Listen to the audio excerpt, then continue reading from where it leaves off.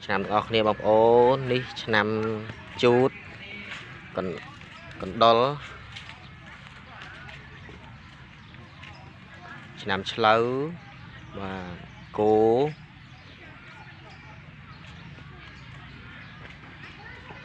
អានេះខាលខ្លា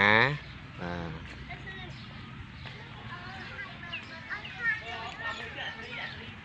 ខាងនេះវិញថោះសត្វទន្សាយ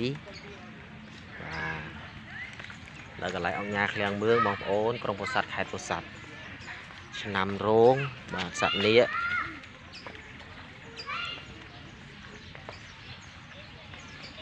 ហើយនេះឆ្នាំម្សាញ់បាទសត្វពស់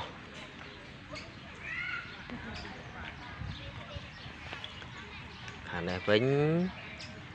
ឆ្នាំមមីបាទសត្វសេះមមីអត់ទៀត ឆ្នាំមមែបាទគឺសត្វពពែឆ្នាំវោកបាទសត្វស្វាអូខេនេះឆ្នាំរការកាសត្វមន់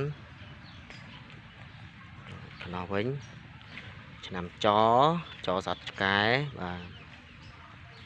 ហើយនេះឆ្នាំកុលបងប្អូនណា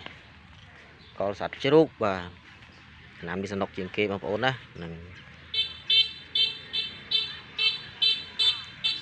ចែកលើឆ្នាំ